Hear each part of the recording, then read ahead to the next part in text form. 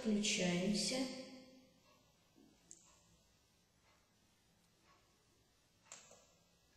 Открываем приложение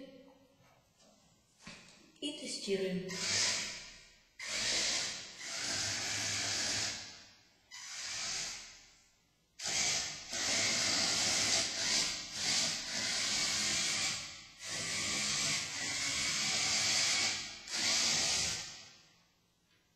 Всем спасибо, пока.